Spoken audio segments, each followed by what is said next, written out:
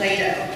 Her most recent book, uh, The Political Plot of Founding Feminists, um, she uh, sort of ends where many of us pick up the study of women's rights in the United States um, with Elizabeth Cady Stanton and Sojourner Truth. Um, so Lisa goes back uh, farther into the 19th century to think about the very careful theoretical work that um, our founding feminists did in order to make the kind of activism possible, uh, both on behalf of women's suffrage and also on behalf of abolitionism in the 19th century. And her uh, more recent work is going to take a look at some late 19th century thinkers. And of course, this work is so important to expanding political and social rights even within the 20th century. So please join me in welcoming Lisa Pace Vetter to Skidmore.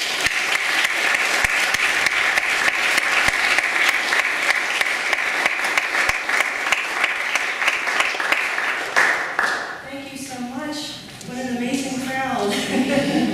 um, I'm very deeply honored to be here. Thank you so much, Larry, uh, for inviting me.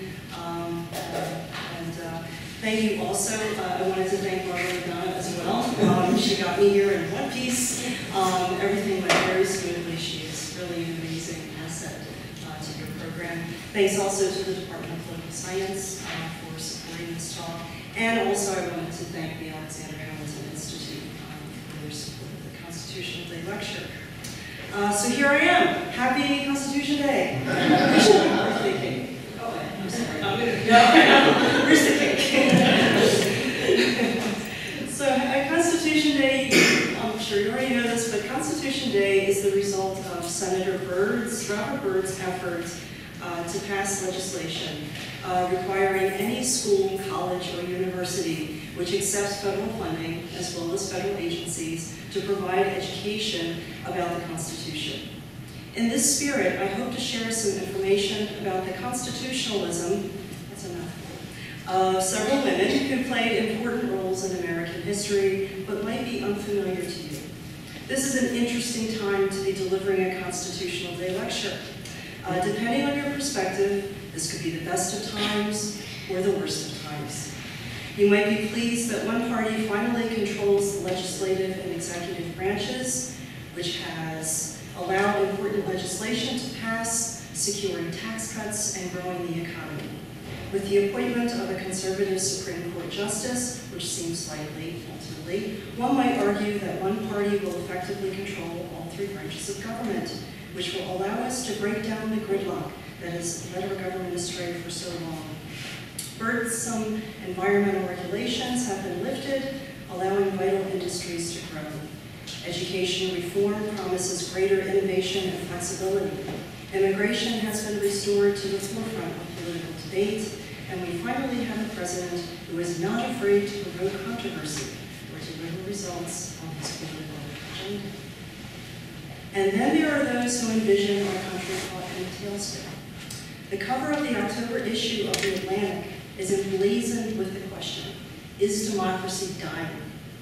Articles include a warning from Europe, the worst is yet to come, how artificial intelligence could give rise to tyranny, and the American crisis. Jeffrey Rosen, the well-known constitutional law scholar, contributed an article subtitled, America is Living James Madison's Nightmare. And you've got to see the cartoon. It's James Madison holding an iPhone with an expression of amazement and horror. uh, Rosen argues that the explosion of social media has given rise to precisely the kind of democracy Madison feared most and wished to guard against. Instead of a republic governed by reason and guided by wise representatives from American society, Rosen sees a democracy not in its best sense, namely the rule of well-informed, thoughtful, deliberative citizens, but rather in its worst form, the uncontrolled tyranny of the public governed by its passions, anger, hatred, fear, and open to manipulation by just the right sort of demagogue who would fuel those flames of those emotions. The mob, Rosen argues, is aided and abetted by social media, which allows them to fire off tweets reflexively, not reflectively, or to post, read, and pass on information, misinformation, without fear of reprisal. So are we in a constitutional crisis?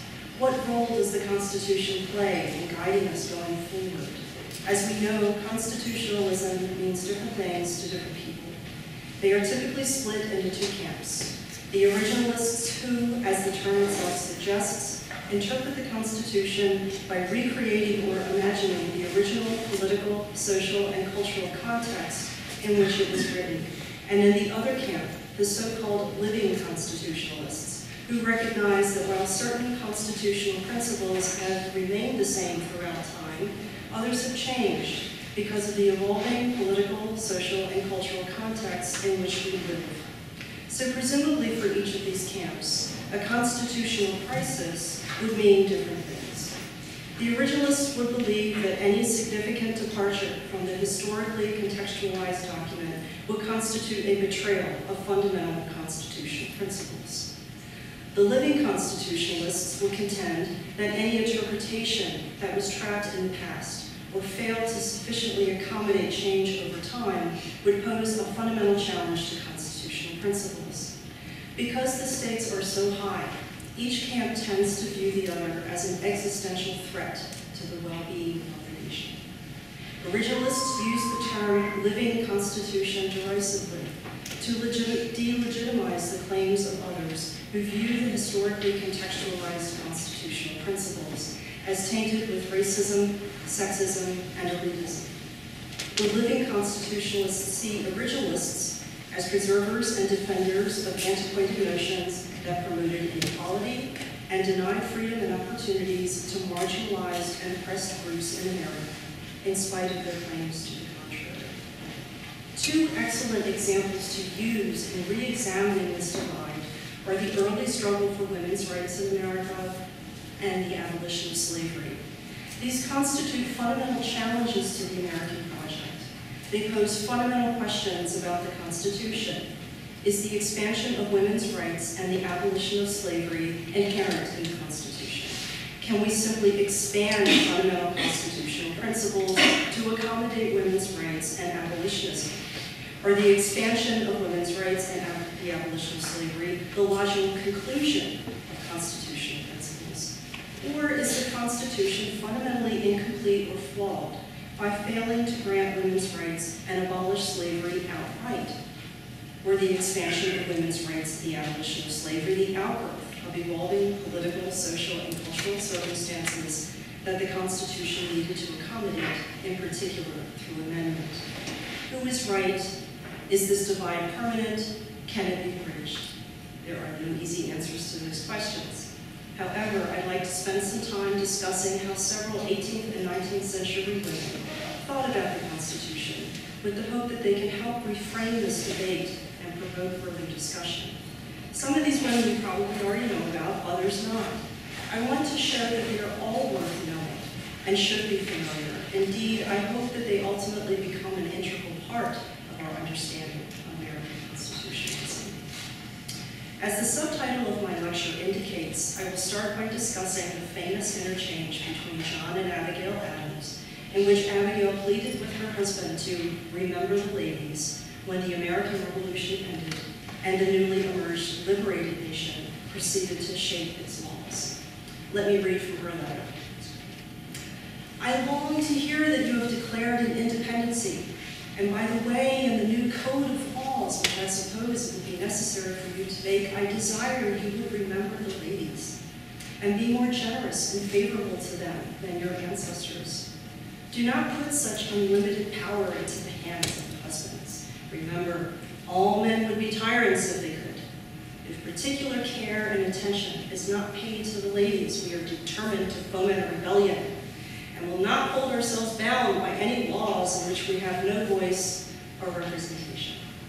That your sex are naturally tyrannical is a truth so thoroughly established as to admit no dispute, but such of you as wish to be happy willingly give up the harsh title of master for the more tender and endearing one of friend. Why then not put it out of the power of the vicious and the lawless to use us with cruelty and indignity, with impunity? Men of sense in all ages, abhor those customs which treat us as the vassals of your sex. Regard us then as beings placed by providence under your protection and in imitation of the supreme being. Make use of that power only for our happiness. John Adams' ultimate dismissal of his wife's concerns is humorous, but also disturbing. As to your extraordinary code of laws, I cannot but laugh. We have been told that our struggle has loosened the bands of government everywhere, that children and apprentices were disobedient, that schools and colleges were grown turbulent, that Indians slighted their guardians, and Negroes were insolent to their masters. Abigail Adams makes the obvious point that America would be hypocritical if it fought to liberate itself only to continue to oppress its women, presumably by denying them the right to own and control property, make contractual agreements, and secure some level of legal protection, so that the mantra, no taxation without representation, did not apply to them. This legal representation may or may not include suffrage or the right to hold political office. There is much speculation about this interchange and its significance. Is it simply an example of witty banter between spouses? Or did it mean something more to either or both? John Adams' delayed response concedes that men do not want to lose the precarious authority they currently enjoy. He also alludes to the upending of traditional hierarchies that would occur if women and other suppressed groups were given any authority. For her part, Abigail Adams continued to make her case to her friend Mercy Otis Warren which indicates that she was not satisfied with the response she received. Indeed, Adams asked Warren if she would join her in petitioning Congress for expanded laws for women, one of the most powerful protest tools used in the abolitionist and early rights and early women's rights movements. Among other things, petitions allowed women to sign their own names, and in doing so, assert their own existence as an individual, something they were unable to do in so many other it might seem strange to begin a discussion of constitutionalism with an interchange that took place years before the Constitution was ever written. But clearly, the Revolution, and especially the Declaration of Independence, played an important role in the creation of the Constitution, and it played a very important role in these women's ideas. Indeed, the litmus test for the Constitution, both formal and informal, for many reformers, was the extent to which the fundamental principles of the Declaration were If the divergence between the Declaration and the Constitution were too wide, change was necessary. The struggle for expanding women's rights and ending slavery were, for many reformers, primary examples of such a goal. If we apply the theories of constitutionalism to the Adams Exchange, we can see the roots of the arguments subsequent reformers would pursue. That's why I started with them. For Abigail Adams, the expansion of women's rights is the logical extension of the principles that drove the American Revolution and helped shape the Constitution. How could John Adams not see that? Although Adams' position is radical, her argument resembles the originalist position. John Adams' approach is complex, depending on your interpretation. At times, Adams seems to concede his wife's point that women's rights would make sense in this context. However, he expresses strong resistance to such an, such an unorthodox idea, as if it were an unwanted foreign imposition. Women's rights, and with it abolitionism, as Adams reference to insolent Negroes as would destroy the very order and rule of law that the Constitution seemed to secure. Remember the Ladies reflects a larger trend in these reform movements, in which seemingly radical ideas are couched in terms of I argue that this is not merely a rhetorical device to help legitimize what would otherwise seem deeply objectionable in the eyes of opponents. We can't read anyone's minds, of course, but it seems that there is a great conviction on the part of these reformers that their cause is deeply consistent with American principles. It is helpful to see this, I believe, because it blurs the seemingly sharp distinction between originalists and living constitutionalists. It raises important questions about these categories themselves. It makes us think about what constitutionalism really means for ourselves as individuals and for our country as a whole. The familiar arguments may no longer neatly apply. we may have to come up with new ones. I want to jump ahead a bit in time to talk about some of the women I've written about in my book, The Political Thought of America's Women No, I just can't Now I know hear. Frances Wright, an important yet neglected 19th century Scottish commentator on America, was an early supporter of the American project. With her gradual recognition of the deep entrenchment of inequality in American society came deep disillusionment. Slavery and the oppression of women were not merely fading remnants of British aristocracy, as her original optimism led her to believe, nor was American economic development guided by good. Instead, she increasingly focused her energies on exposing the systemic and interre- interrelated causes of inequality that plagued the new republic, and on developing a comprehensive plan for reform.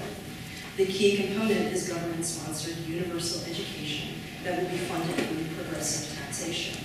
Inspired by socialist reformers such as Robert Owen, Wright envisioned a cooperative effort to mitigate inequalities of race, sex, and class. Wright repeatedly invokes the Declaration's famous claim that all men are created equal as the basis of American society that all other countries should imitate.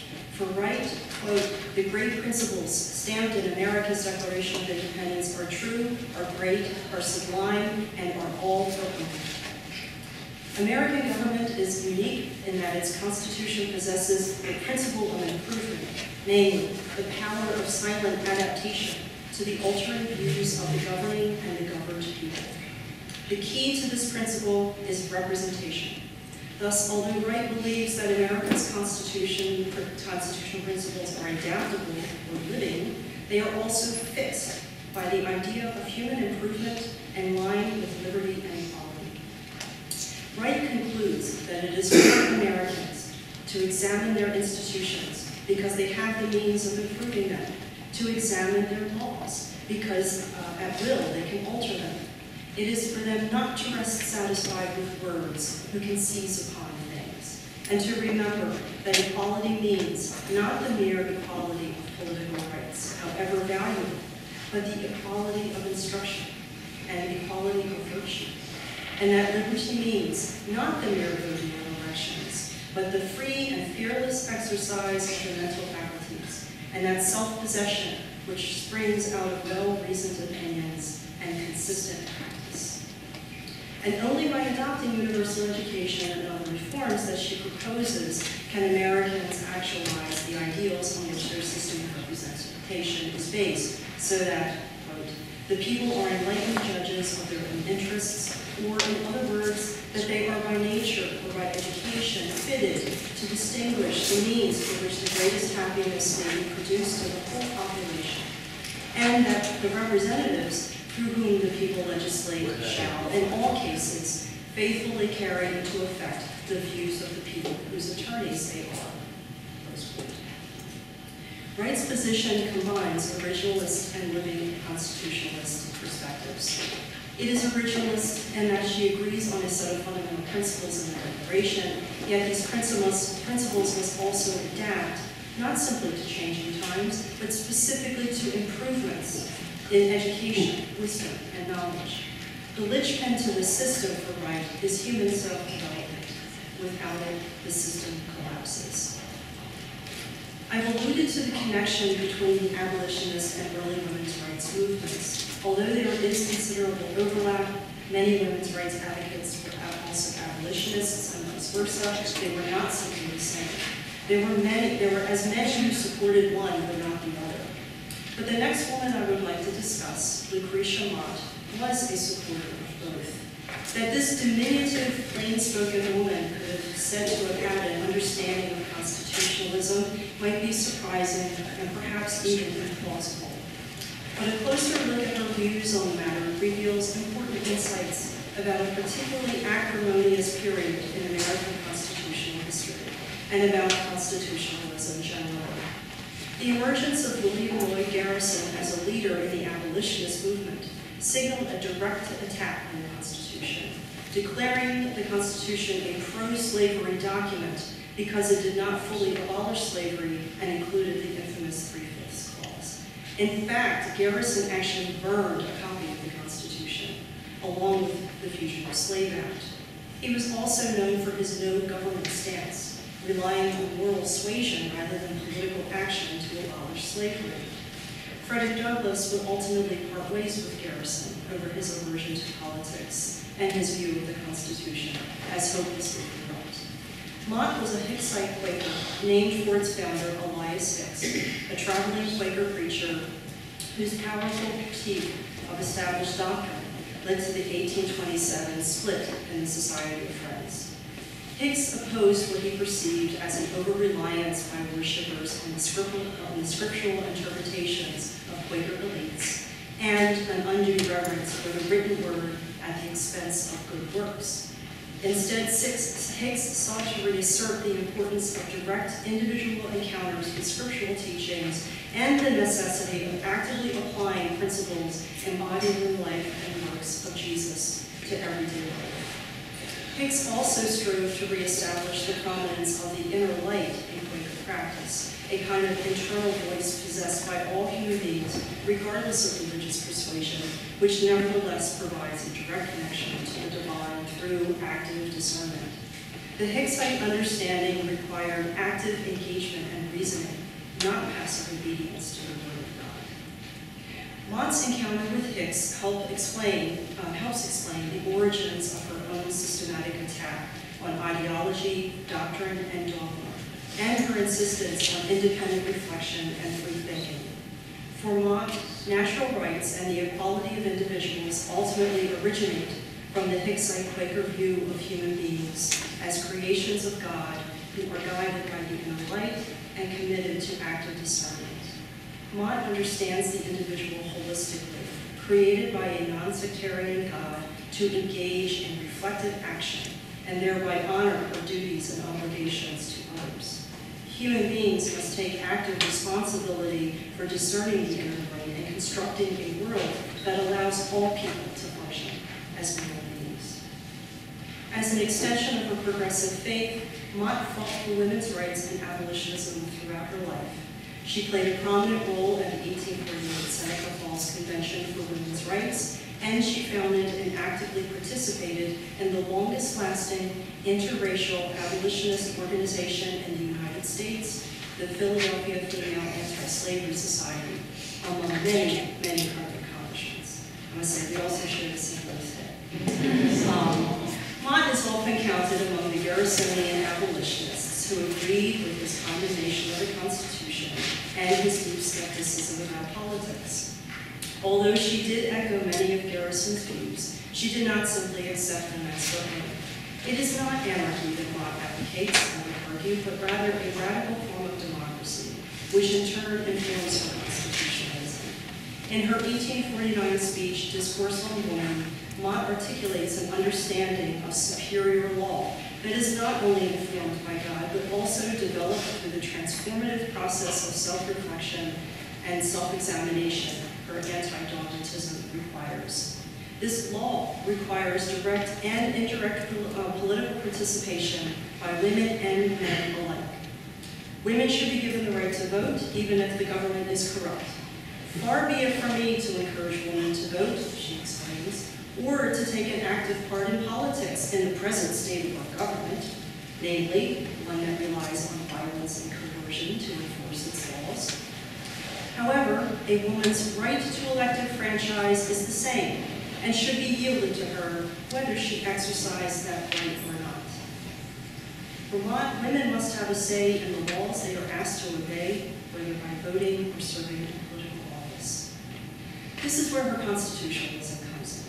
She continues, quote, when in the diffusion of light and intelligence, a convention, not only a constitutional convention, shall be called to make regulations for self-government on Christian non-resistant principles, I can see no good reason why women should not participate in such an assemblage, taking part equally with men. Mott speculates, who knows, but that if women acted her part in governmental affairs, there might be an entire change in the turmoil of political life. And if a woman's judgment were exercised, why might she not aid in making laws by which she is governed? Mott is vague about the structure and implementation of such a gathering, Nevertheless, she does not turn away from political involvement for women, but rather expands it. Mott's constitutionalism is clearly living, in that she is proposing a kind of new beginning that includes men and women living upright lives. Yet she also resembles an originalist in that she is contemplating how the Constitution should have been created in the first place, as it was originally intended. Mott does not necessarily believe she is imposing something that isn't there in the first place. In her view, she is simply living up to the original intentions of the document and the process leading to its creation. I want to shift now to some better-known 19th century women and examine their theories of constitutions. Elizabeth Cady Stanton is often referred to as the philosopher of the early women's rights movement. Stanton's pioneering efforts to collectivize women as a gender class transformed American law. Her work was integral to bringing about the formal constitutional recognition of women as enfranchised citizens who deserve full legal protection. And she presided over what perhaps most closely resembles a constitutional crisis facing the early women's rights movement. It came about after the Civil War when the so-called Reconstruction Amendments to the Constitution were proposed. Whereas the 13th Amendment was largely welcome to abolish slavery, the 14th Amendment was contentious because it inserted the word male into the Constitution for the first time, when it determined that the right to vote by male inhabitants of a state who were 21 years of age should not be infringed. Stanton complained that if the amendment succeeded in inserting the word male to specify a citizen who is eligible to vote, it would take a century to remove it, to remove it and replace it with a definition that included women. Given the delay in the passage of the 19th Amendment, her concern proved. Stanton and Susan B. Anthony also opposed the 15th Amendment in spite of the fact that it would guarantee that the right to vote would not be deprived because of race. Stanton and Anthony were incensed that the amendment failed to ensure that voting would also not be denied because of sex. Stanton and Anthony's position was not universally accepted by women. Lucy Stone and others favored passage of the amendment primarily because it represented a partial yet significant victory in the battle for universal suffrage. They were convinced that the struggle for women's suffrage would be most successful at the state level, and they were determined to continue their gradualist approach. By contrast, Stanton and Anthony wanted guarantees at the federal level that voting was a right to be protected for all. Stanton and Anthony's constitutionalism is fairly clear. The extension of full rights of citizenship to women is a logical extension of the original intent of the Constitution, writ large and small, and these rights should be guaranteed at the federal level. After all, after the Revolution, New Jersey's state constitution explicitly permitted women who owned property to vote until 1807, when restrictions were imposed.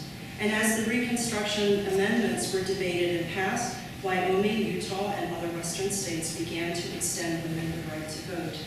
And yet, as is often the case, opponents of women's suffrage saw these efforts as an imposition on the original intention of the framers who did not envision women as voting citizens, but perhaps instead as vital helpmeets for voting men. Amendments generally appeared to be corrections to the original document, added on as circumstances change and need requires. However, much of their justification relies on the idea that the amendments are fully consistent with the original intent of the Constitution.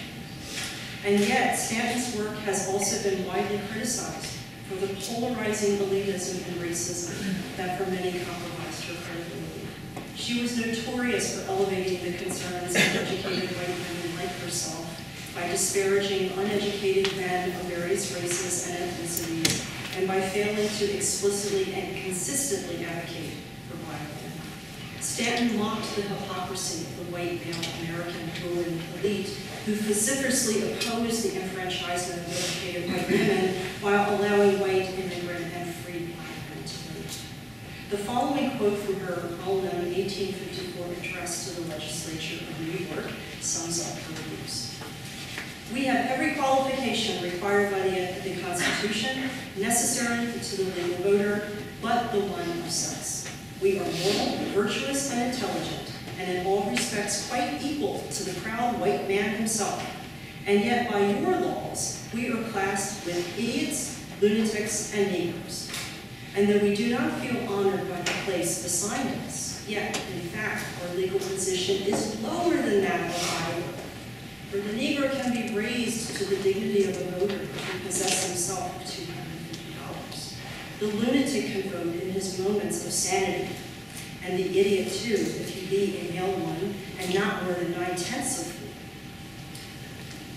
one. Although Stanton's bigotry is undeniable, she also advocates for black women.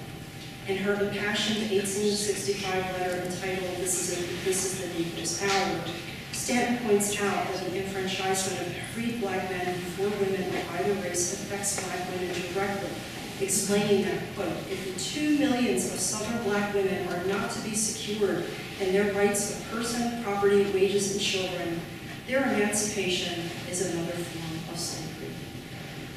Stanton reinforces the point that she is ultimately arguing for universal emancipation for all men and women, black and white, by declaring that, quote, in changing the status of the four millions of Africans, the women as well as the men should be secured in all the rights, privileges, and immunities of citizens.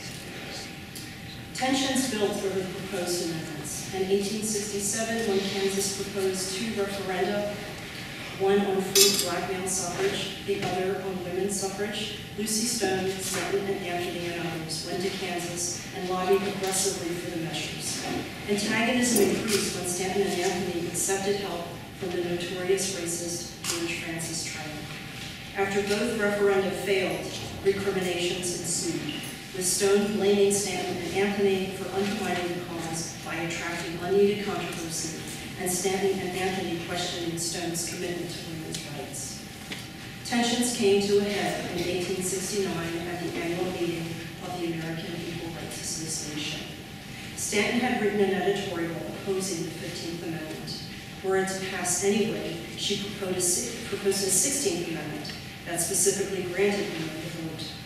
After this meeting, the women's rights movement split into two groups, one led by Stone that supported the amendment and favored the state-by-state approach to women's suffrage. The other group, led by Stanton and Anthony, formed their own organization, the National Women's Suffrage Association, and continued their opposition to the amendment and maintained their support for universal suffrage. Frederick Douglass attended this conference, and I would like to quote from the famous interchange between him and Anthony to give you a full sense of the divide. Douglass says, There is no name greater than that of Elizabeth Cady Stanton in the matter of women's rights and equal rights, but my sentiments are tinged a little against the revolution, the uh, newspaper that she published this in. There was in the address to which I allude the employment of certain names, such as Sandra and the Gardner and the Bootblack and the daughters of Jefferson and Washington, and all the rest that I cannot coincide. I have asked what difference there is between the daughters of Jefferson and Washington and other daughters. I must say that I do not see how anyone can pretend that there is the same urgency in giving the ballot to women as to the Negro. With us, the matter is a question of life and death, at least in 15 states of the Union. When women, because they are women, are hunted down through the cities of New York and New Orleans, when they are dragged from their houses and hung upon, lampposts, when their children are torn from their arms and their brains dashed out upon the pavement, when they are objects of insult and outrage at every turn, when they are in danger of having their homes burnt down over their heads, when their children are not allowed to enter schools, then they will have an urgency to obtain the ballot. Thus, for Douglass, who continued to support women's suffrage throughout his life, African Americans face more immediate danger from disenfranchisement than do their white female counterparts. As a result, they need the vote first to protect themselves. And although Stanton and Anthony continually called for universal suffrage, their racist and elitist arguments often undermine the credibility of their claims. Even Douglass betrayed the limitations of his own ideas when asked whether the immediate need for suffrage was also true about black women. Douglass agreed, but not because she is a woman, but because she is black.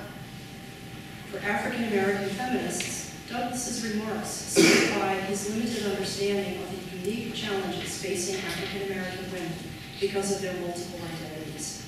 His views do not accommodate intersectionality, which seeks to account for the diversity of women within intersecting identities of sex and gender, race and ethnicity, and socioeconomic status. African American women do not face the same exact challenges as do African American men. They still suffer oppression at the hands of African American men, as Sojourner Truth's various remarks attest. Indeed, Truth claimed that if black men were granted the vote before black women, they would simply dominate women in the same way my white masters dominated them. Stepping back from the fray, what can we learn about the constitutional theories at work here? Douglass is a favorite among originalists because of his deep and abiding faith in the Constitution to provide a political solution to the problem of slavery. He believed in reform, not revolution, in accordance with the fundamental principles of the American project. So for him, uh, suffrage and the full rights of citizenship are a continuation of founding principles, not a correction or addition to them. And yet, make no mistake, he was calling for the same sort of fundamental change that many abolitionists and women's rights advocates were calling for. And with respect to Stanton's constitutionalism, perhaps we can look at it from another angle. Her claims to universal suffrage are laced with racism and elitism. Does this mean that the claims themselves are fundamentally tainted as well? If she sees them as originating from the true intent of the Constitution, does this also mean that the true intent of the Constitution is also corrupt? Stanton's perspective is the same as the elite white men who wrote the Constitution and were seeking to preserve their own privileges. Or is Stanton adding racism and elitism where there was none to begin with? Is she original principles we're looking at? I'm still grappling with these questions myself, so I have easy answers. A final aspect of constitutionalism in the early women's rights movement that I would like to mention but merits much further attention is the approach championed by radical reformer Victoria Woodhull, who in 1872 unsuccessfully ran for president of the United States. Whereas Stanton appreciated and celebrated Woodhull's free thinking and controversial views, she advocated free love, among other things, a long list. Uh, Susan B. Anthony saw them as a danger to the movement. Among Woodhull's many contributions was the new departure, an innovative interpretation of the 14th and 15th Amendments. Although the 14th specifically refers to men, the first clause mentions citizens as a whole, all persons, which for Woodhull must include all women. Because the federal government conferred federal citizenship, the federal government was also be responsible for, for protecting the privileges of the people. Because these privileges were not spelled out, Woodhull extrapolates them. They rely on the will of the people, and therefore necessarily must include suffrage. The 15th Amendment's re reference to race also includes everyone of all races, according to Woodhull's interpretation. So Woodhull's constitutionalism, uh, so federal government, uh, the federal government must protect women and men from voting discrimination. Woodhull's constitutionalism, like many of the examples I discussed today, pose some thought-provoking questions about originalist and revisionist interpretation. Again, familiar dis uh, distinctions seem to be. So to conclude, I would like to briefly discuss three 19th century African American women who I've just begun to study for my next research project, and who raise important constitutional questions that we've only begun to appreciate. Frances Ellen Watkins Harper, Anna Julia Cooper, and Ida B. Wells. These women come from a particularly bleak period in American constitutional history, when the lofty promises of enfranchisement and liberty made after the Civil War were cruelly betrayed as Jim Crow emerged and oppression persisted. The yawning gap between constitutional principles and political practices stubbornly persisted throughout the 19th century and as we know, beyond. I'll start with Harper, a native of Baltimore, like myself, who was a poet, novelist, journalist, and activist. Although she participated in several important women's rights conventions, including the pivotal 1866 meeting where she delivered perhaps her best known speech, We Are All Bound Up Together, Harper is not well-known even today. She often harshly criticized white women advocates such as Stanton Anthony and later Frances Willard. Perhaps unsurprising, Harper was not included in Stanton's history of women's suffrage. Instead, Stanton focuses on Sojourner Truth, whose narrative Stanton shapes for her own purposes. Although Harper is often classified as part of the other side with Stone and Douglass, who supported the 15th Amendment, this is a simplification of her views on the complex subject. African American women like Harper were placed in an impossible situation to side with Douglass and others who do not fully appreciate the, the unique challenges facing African American women, or side with Stanton and Anthony with their racist and elitist views. White women created this divide, incidentally, not African American women. So this makes this model perhaps ill-suited to interpret Harper and others. I would argue that Harper's contribution to constitutionalism is to offer important lessons in deliberative democracy. How can we even begin to interpret the Constitution if we do not have the tools with which to do it? Harper's instruction in deliberative democracy is evident through her rhetoric in the 1866 speech, in which she continually seeks to simultaneously unite and divide her audience, calling attention to their similarities as well as their often irreducible differences, so as to facilitate a kind of habit of thinking and presumably acting that seeks to maintain a kind of flexible, adaptable unity while honoring diversity and the integrity of every individual. In this world, white women would not presume to speak for all black women, thereby silencing them, however paradoxically. And yet all women, black and white, recognize their common plight as they fight against discrimination and oppression of all sorts. Clearly, her ideas pose important questions about originalist and revisionist interpretations of the Constitution. The second, second African-American woman I would like to discuss very briefly is Anna Julia Cooper, the fourth African-American woman to earn a PhD. Yet her influence is underappreciated. In spite of her deep understanding of racial and sexist oppression, she is eclipsed by her better-known male contemporaries W.E.B. Du Bois, Booker T. Washington, Frederick Douglass, Alexander Crummell, and.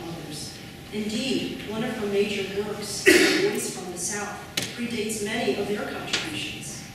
Du Bois famously quotes from Harper uh, Cooper's Voice from the South in his essay, The Damnation of Women, without attributing the passage to Cooper. Her expansive and wide-ranging work defies easy categorization and merits further attention. The ways in which she sought to integrate women into the elite African-American community of scholars and preachers, which itself was dominated by men, poses additional questions about how to incorporate marginalized individuals into mainstream institutions. The third and final woman I would like to mention, again very briefly, is Ida B. Wells, the fearless chronicler of lynchings in the United States, who was recently honored at last in the New York Times overlooked series of obituaries of influential people who were not memorialized at the times of their death. Incidentally, many of these people were women in minorities. And she has been honored at the new National Memorial for Peace and Justice in Montgomery, Alabama. Clearly, any deliberative democracy needs its gadflies, its recorders of ugly truths. Wells gives voice to the silenced victims of racial violence by weaving together accounts from media sources from all over the country into a narrative that is purely her own making. Clearly, our understanding of constitutionalism requires an accurate foundation in the facts. We need to make informed judgments. To deny the horrors of our past would be deeply unjust. To what extent are Wells' efforts originalists, originalist, revisionist in spirit? Does her approach pose such a radical departure as scholars I hope that my presentation has helped lay the groundwork for further discussion about what our Constitution means, how it should be interpreted now and in the future. As seen through the lens of several remarkable individuals in American history, some familiar, some not. I want to be clear. These are only a few, many more than we should study Some will lend themselves to theoretical examination more easily than others in many cases, we will have to reconsider what, con what constitutes theorizing itself, i.e., who qualifies as a theorist. Does theorizing require writing lengthy treaties, treatises? Or can we look at letters, speeches, and other informal modes of communication? How many rich sources of information remain to be discovered in obscure archives and history? Instead of seeing pragmatic politics and political theory as mutually antagonistic as we often do, should they be considered complementary? What new analytical tools do we need to devise and to devise to gain a better understanding? What old tools need to be dusted off and polished up to be useful? These are important questions to consider on Constitution Day 2018. Thank you very much.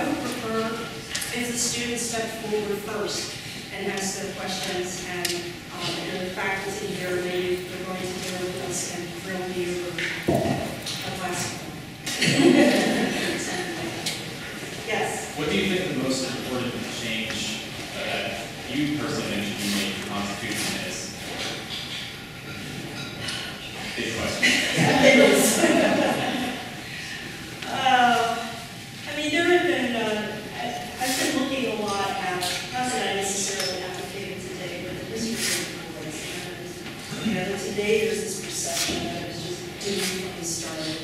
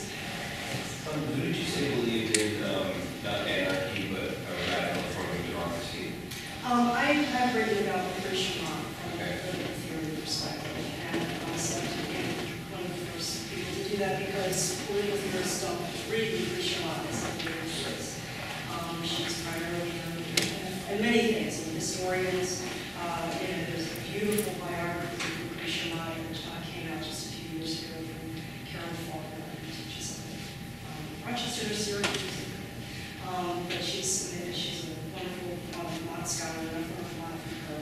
Um, but uh, Lucretia Mott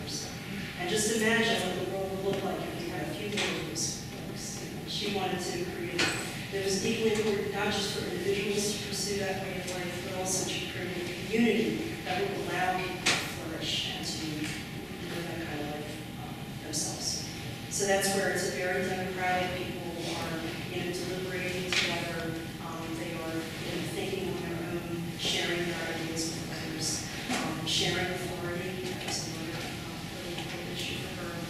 And the issue of non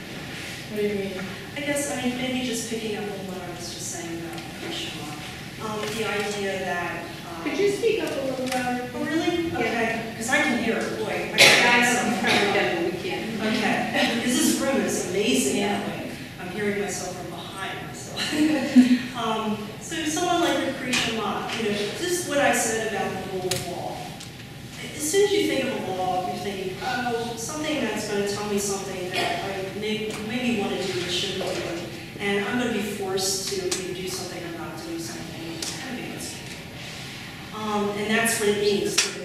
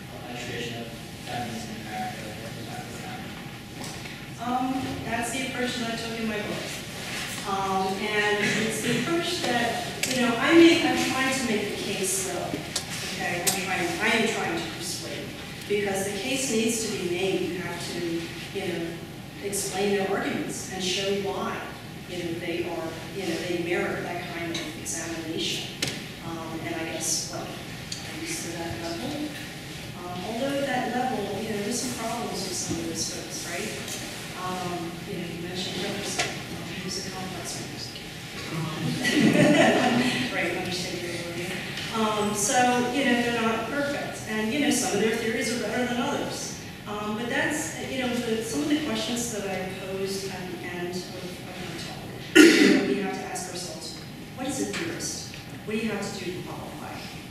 You know, um, if we use that in the 19th century, and even when the founders, can't use a PhD in science and specialty in political thought, because that didn't really exist. Um, you didn't have to be a professor. Um, there were very few of them because there were very few, still very few universities. And women, by the way, were not allowed to go to university or college until the very, you know, until the 19th century. Um, and even so, there were very small numbers of women um, attending uh, university or college, and they weren't as self-taught. Um, so they did have formal education, many of them. Um, they did not have the opportunity or desire to write these treatise on human nature. That have, you know, time to spend, you know, writing pages and pages.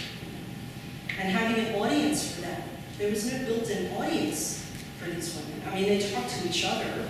Um, and there were obviously, you know, I don't want to over, uh, overstate this. There were important women writers who were very influential. Um, and they merit further study as well. I'm just, I'm really looking at, um, you know, people who are not on the radar screen now, um, and trying to make the case that really, I mean, they should be. And not necessarily that everybody's equally important or compelling or significant, but I think they all have something important to contribute. And it's our uh, obligation to at least try to figure out what that is before we come to judgments about, you know, whether, whether they're uh, worthy or not um, of the title.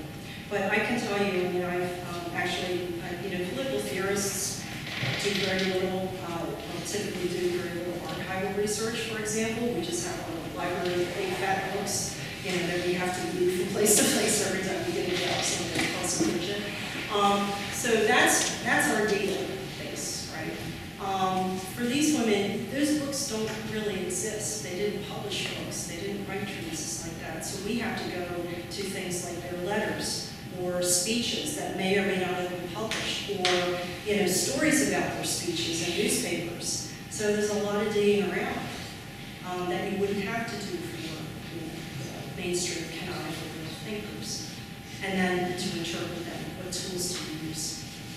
So it's yeah, I, I mean, I'm, yeah, again, I'm trying to make the case that um, you know there are things going on that also uh, shed important light into some of those sort of crisis moments in our history that in some ways are well understood, but in other ways poorly understood. Yes. So in the beginning of your lecture, you talked about sort of the interface of originalism and living constitutionalism ideas. And I wonder if you think that these uh, women theorists, we'll call them theorists, fit into, like, are they applicable to the modern judicial system in the sense that they sort of show that these ideas are not that different and you apply them in that way? Or are they more applicable to this modern moment in like showing that there is more feminism in our history than was? So I'm sort of curious as to what, where you think that uh, part of your thesis fits into the modern moment. Yeah, I think, I mean, I think actually both of those things are true if I understand them correctly. Um, That, you know, as I, as I said, I think the distinctions uh, between those two groups, I mean, I, and I am creating a, you know, sort of cartoonish, simplistic, um, you know, grouping here, but it's for the sake of making an argument. And I do think that, and especially if, you know, we're watching, you know, the news and we have a Supreme Court um, that we consider as we speak, um, and, know, what's happening right now.